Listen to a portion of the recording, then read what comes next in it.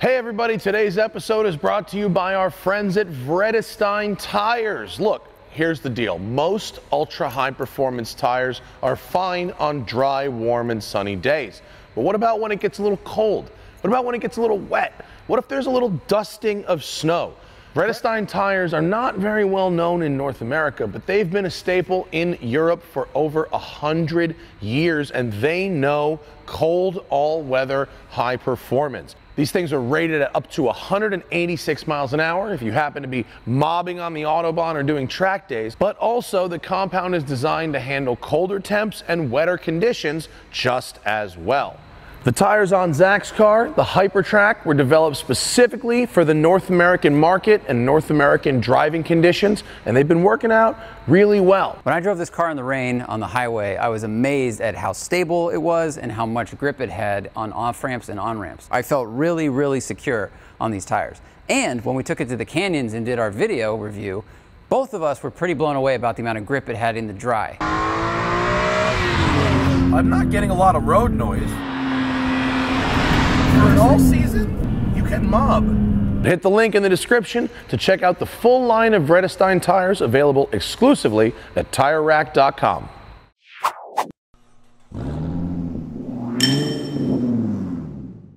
Hey everybody, uh, this is obviously an incredibly cool opportunity. I'm here at Brainerd International Raceway in Brainerd, Minnesota, uh, an interesting three mile road course that has one of the fastest right hand corners in all of North America. And uh, my friend Leh Keen, uh, Ryan Gates, and 311 RS Racing have given me an unbelievable opportunity to drive their 992 generation GT3 Cup car, the race car. No more motorsport theater. Now it's real motorsport. Uh, this thing has a four liter flat six, making 510 horsepower and 346 pound feet of torque. It redlines at 8750. It has a six speed sequential gearbox that weighs 100 pounds less than PDK. It has electric power steering and electric shifting. You, both of those used to be hydraulic, they're now electric. You've got that double wishbone front suspension, like we were talking about in the GT3. 305 slick front tires, folks. Uh, there's lots of aluminum in the body to save weight. Uh, and the dry weight of this car, that's how they measure race cars, is 2770. So it's 1% per lap faster than the old car. Believe it or not, that's a lot. Okay, it has polycarbonate windows. It's got a beautiful, bright 10.3 inch color screen that allows you to do all kinds of stuff. And it broadcasts this information back to the pits in real time. So your engineer is seeing your telemetry in real time. It's cheaper to maintain than the last Cup car. You got 100 hours before the engine needs an overhaul, 60 hours before the gearbox does.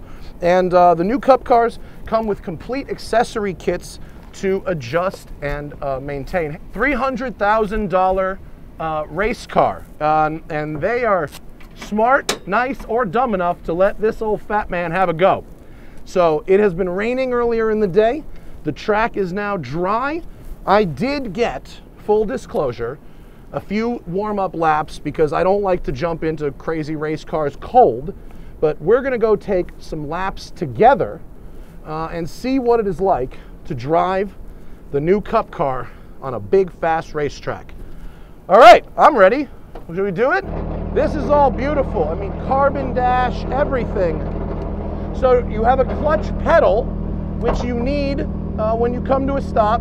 To get the vehicle going, I'm just gonna lift, you don't give it any gas. You just ride the clutch a little bit until it's rolling.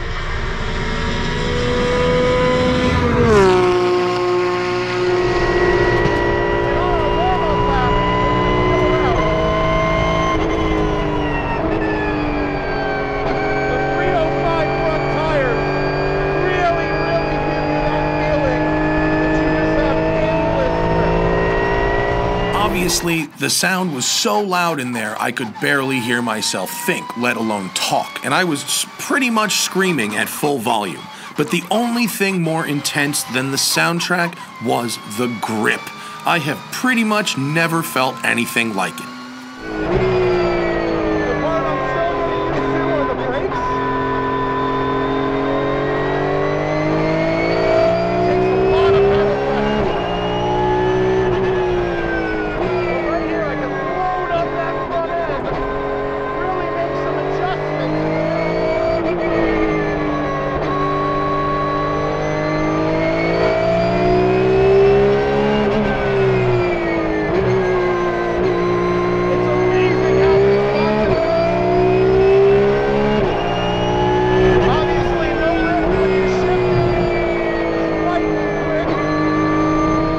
Although the turn in of a 911 GT3 RS street car is incredibly impressive, nothing prepares you for how hard you can turn the steering wheel in something like this. Whenever you think you're out of grip, you just turn the wheel harder and it goes more.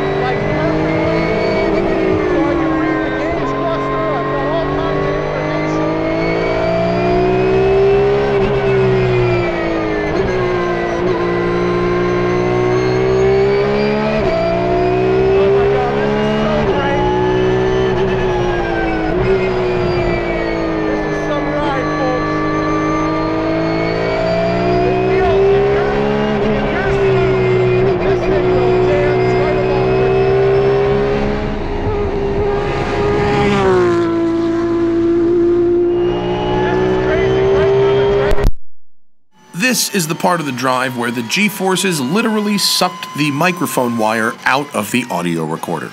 With only two 20 minute sessions to get used to the car, I clearly was not going to set a qualifying time on the pole.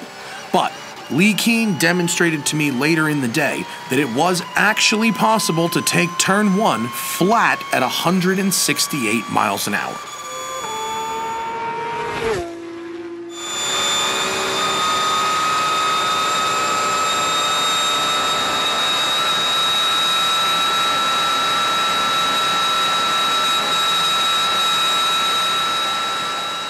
Compared to something like the BMW M6 GT3 or the Bentley GT3 with big turbocharged front engine rear drive layouts, this is actually quite manageable. With, quote, only 350 pound feet of torque, it's actually easy to get on the throttle early and not worry about oversteer. The big takeaway from this Cup car is not just that it was very fast, I expected that. It's actually how nice and easy it was to drive and how comfortable it would be for a half hour, 30, 40, or even a 90 minute stint in an endurance race. It's frankly just a very nice place to be racing.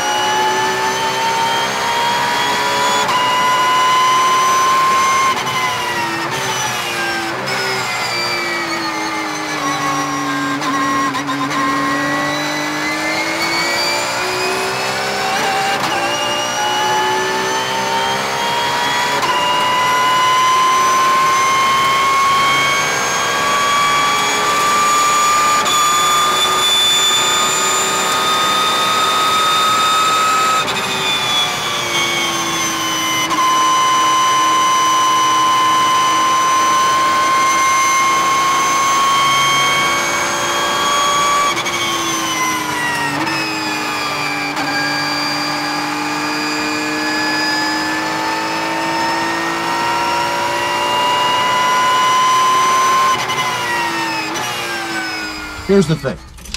If you are serious about going to the track, this is so much further beyond anything streetcar based that it's not even worth doing that. This is just this is so crazy. The turn in, the grip, uh, the brakes, the performance, the all of that is so far beyond your normal street cars. And yes, we have slick tires and you know, but um, considering what I've seen people bring to track days and how much some of that equipment costs, uh, this is pretty pretty far beyond uh, beyond that. And so, I mean, what an unbelievable experience. I'm so glad I got to come out here to Brainerd and have a go. Uh, I'm sorry if we didn't get proper audio. We will make we will make do with what we have. I promise there will be a video uh, at the end of this. And uh, thank you to Ryan, to Leh, and to the entire 311 RS team. Uh, go check out their stuff in the in the in the video description. Give them a follow on the gram and keep up with Leh racing this car to podiums in the uh, in the Super Cup series. So thanks for watching. See you later. Bye. And remember, always fight your tickets. Use code TST10 on the Off the Record app available in the Android and iOS store, or go to offtherecord.com/tst.